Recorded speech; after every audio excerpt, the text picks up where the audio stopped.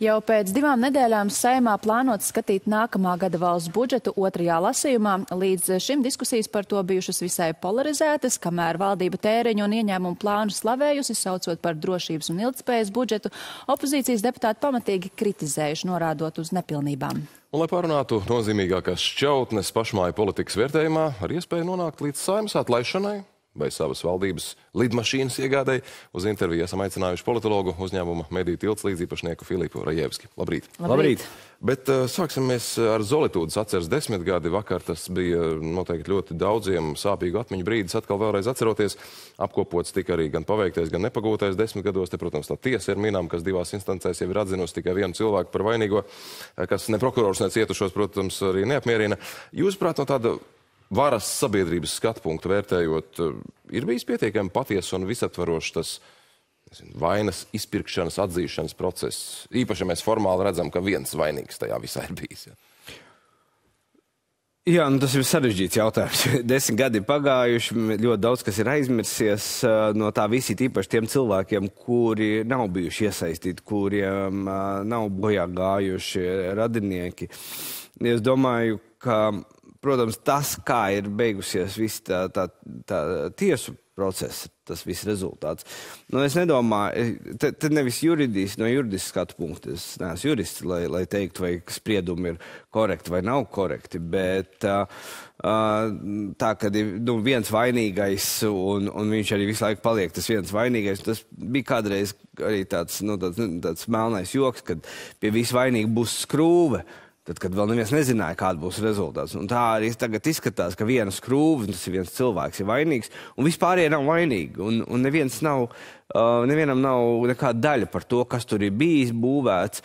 Un, un es domāju, ka tas, tas līdz galam nav, nav labi. Tīpaši, ja mēs skatāmies arī no otras puses, tas būvniecības process arī diezgan padarīts sarežģītāks, komplicētāks. Ļoti daudz cilvēki tagad pēc, pēc zolotūdas visām šīm izmaiņām likumdošanā uzbūvēt kaut ko ir daudz grūtāk. Mēs arī visu ekonomiku izpērkam dēļ tā, to, to, to vainu ar to, ka mums bremzējās visas investīcijas būvniecībā. Un, un rezultāts tomēr, nu, es domāju, ka viņš nav tāds, kā sabiedrība gaidīja. Nu, droši vien tas jautājums par to attieksmi pret atbildību, vai tā ir mainījusies, vai izskanēja tāds pretnostatījums taisnīgums uh, un tiesiskums, vai tas ir Šī ir Latvijas lielā problēma. Mēs visu laiku runājam par tiesiskumu, bet cilvēki gaida taisnīgumu, un tas ir, tā, tā ir fundamentāla problēma. Ļoti bieži uh, Um, nu, ja mēs skatāmies arī kaut kādas citas tiesību sistēmas, tur, kur ir vēlēti tiesneši, tur prevalē vairāk taisnīgums nekā, nekā, nekā tiesiskums. Bet, nu, mēs dzīvojam ļoti, ļoti saskaņā ar, ar likumu burtu, un, un tas dažkārt cilvēkiem ļoti nepatīk. Tas arī rada tādas šaubas, vai sistēma spēj strādāt. Ja tad jau vajag tikai mākslīgo intelektu, jo mēs dzīvojam tikai pēc uh, teksta un burta un komata. Vēl kāda aktualitāte par budžeta ceļu saimā. Pašlaik pirmajā lasījumā jau atbalstīts, otrais lasījums 7. decembrī plānots. Jūsuprāt, nu, kādas prognozes vai būs bez lieliem pārsteigumiem vai papildinājumiem, vai tomēr vēl paraustīs to deķi uz dažādām pusēm? Esmu, zinām, pārliecība var pateikt, ka šis budžets ir, ir jau pieņemts tā, teiksim, tā koalīcijas līmenī. Tur noteikti kaut kādas detaļas, tur dzenās, protams, komats kaut kādas, varbūt kāds miljonu turp šurp uz tā visu fonu, kas būtiski nemainīs situāciju. Domāju, ka tā politiskā vienošanās ir panākta un tas koalīcijas uh, vilciens ies uz priekšu un balsos un būs, nu, parastais stāsts būs daudz opozīcijas priekšlikumu, kurus uh, nobalsos, ka viņi nav tā, tā vērti, lai pa viņiem uh, vispār balsot, ja, ja, ja bals, vienkārši nobalsos, uh, ka viņi nav tā vērti, lai viņus iekļautu un viss, un, un tas budžets ies cauri.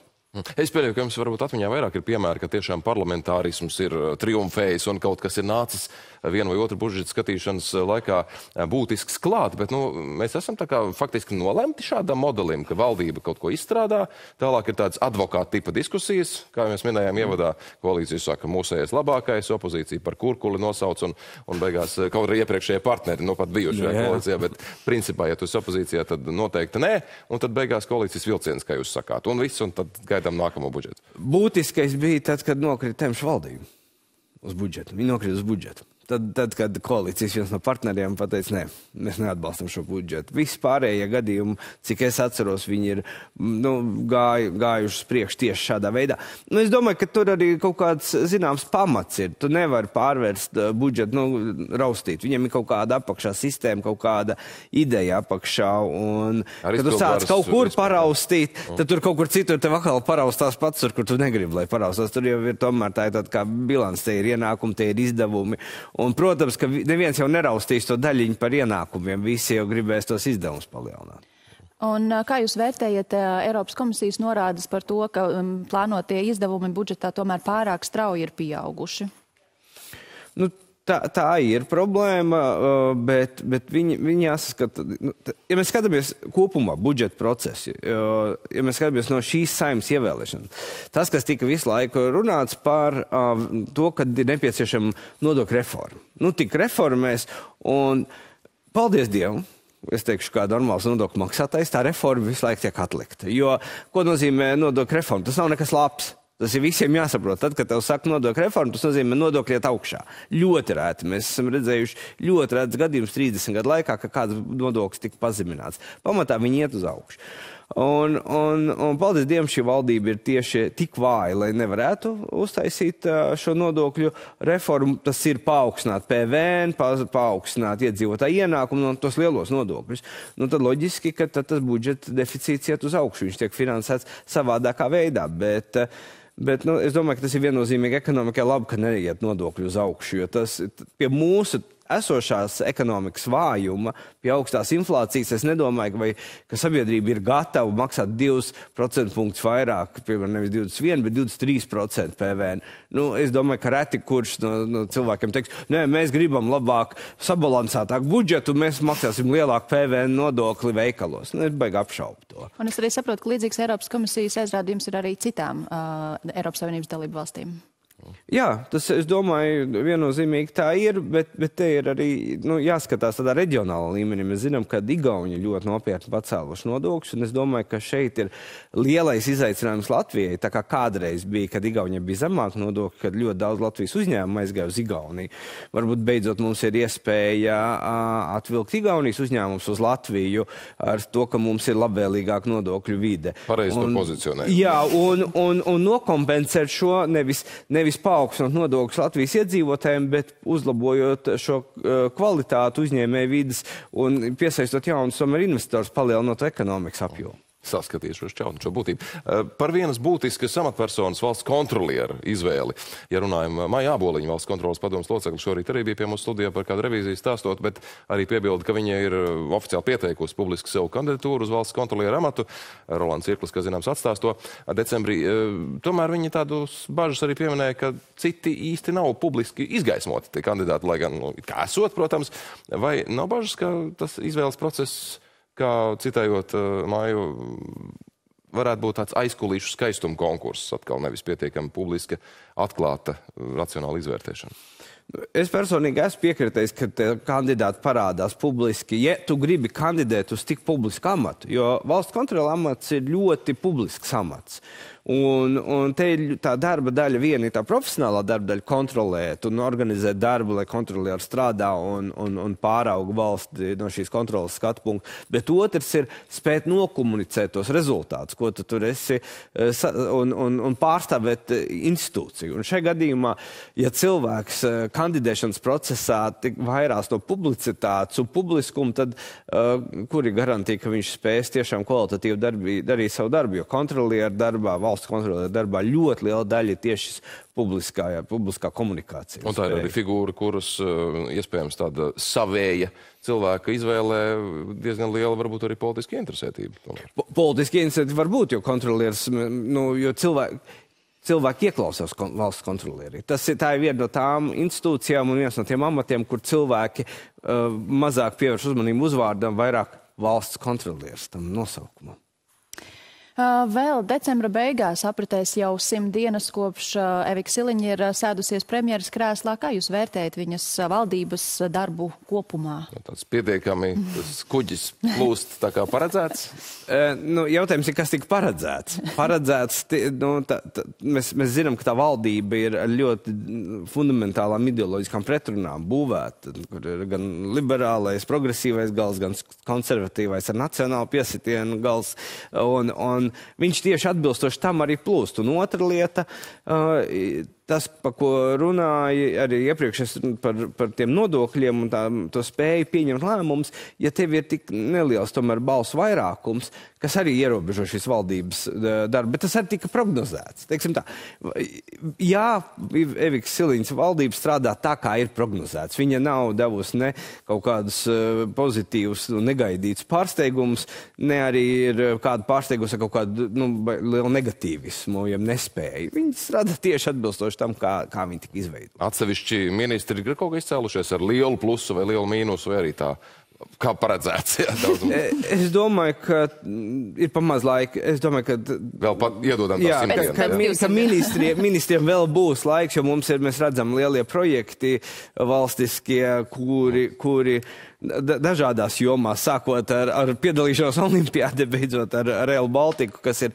dienas kārtībā, kas ļaus, sateikt, ministriem parādīt sevi. Nu, viens ministrs ir ar lielu pieredzi politikā valdībā, Krišāns Kariņš, ārlietu ministrs, bijušais premjers, un tieši par viņa tieriņiem dodoties ārzemju braucienos tāds diezgan liels, nu, tāds saviņojums, ja tādas sarunas karstas ir bijušas pagājušajā nedēļā, izskanot pat tam, ka valdībai varētu būt sava lidmašīna nepieciešama, lai šādus reisus kas ir reizēm ar komercreisiem nesavietojami, nokļūt ērtāk un ātrāk, trapīgāk ārzemju braucienos varētu īstenot. Labs būtu risinājums sava lidmašīna valdībā. Es domāju, ka trīs.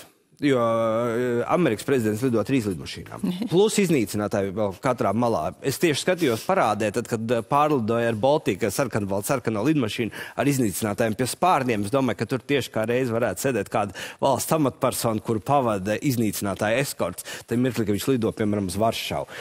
Nu, tas tā, lai būtu dārgi un interesanti, lai, lai visi redz, ka ierodās Latvijas valsts augsta amatpersona. Es domāju, ka tas ir pilnīgs absurds. Mēs esam Ziemeļvalsts, mēs uzliekam, mēs runājam par zaļo kursu, mēs runājam par ierobežojumiem biznesam, dēļ zaļā, zaļajām mūsu saistībām, un tad lidot ar privātu lidmašīnu, es atvainojos, kā vēl vajag dedzināt degvielu, lai kaut, tā, lai, lai kaut kā tā iespļaut sabiedrībai sejā. Tāpēc arī tā šūmēšanās ir. Es nerunāju par tiem 600 tūkstošiem, kas, kas gan jau ka varētu būt tikt iztērēt savādāk. Un pie tā, ka mums pieder valstī aviokompānija, kur mēs lepojamies, kur ļoti labi sasaist Rīgu ar visām Eiropas pilsētām lielākajām.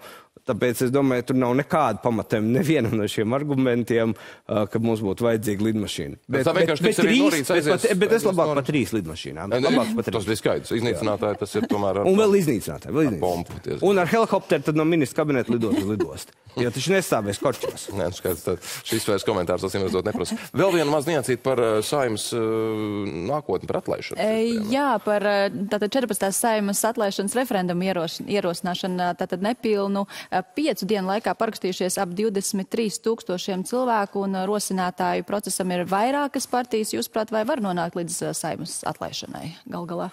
Līdz atlaišanai man ir šaubas, ka var atlaist saimu, kad ir šāda neapmierinātības līmenis sabiedrībā. Līdz referendumam savukārt? Līdz referendumam, ja tā paskaita, teiksim tā, ja tā paskaita to, tos tūkstošus balsu, kas ir šīm politiskajām partijām, kuras šo virzi, ja viņas spēj mobilizēt savus vēlētājus šim solim un vēl piesaistīt neapmierinātos, tad uh, tur tīri matemātiski, es domāju, nu, tas gads ir pietiekošs laiks, lai savāktu, bet, uh, bet šobrīd būtu pārāk runāt. Bet tas ir ļoti nopietnas šo pašu partiju darbs, nevis tikai mēdījos, bet darbs uz vietām, darbs ar viņu vēlētājiem, jo tikai šo partiju vēlētāji var uh, būt tā, tā, tas pamats, kas, kas atnāk, nu, neatnāk, ieiet Latvijā un parakstā. Mm. Un pēc būtības jau tas var būt arī nevis kā tiešais mērķis, bet arī kā blakus mērķis, ka tie citi mērķi ir vēl uh, sava elektorāta mobilizācija uz citām vēlēšanām skatoties. Tas ir viens, un otrs ir atkal kaut kā tāda kā, kā groži valdībai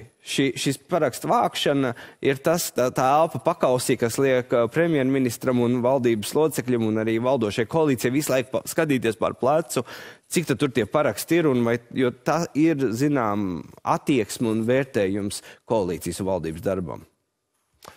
Nu, ko, acīm redzot, jautājumu varētu būt vēl daži, bet nu, tā pieklājības rāmi ieturot, pieturēsim citai reizītei vēl sarunai. Teiksim paldies, paldies. šorīt par sarunu.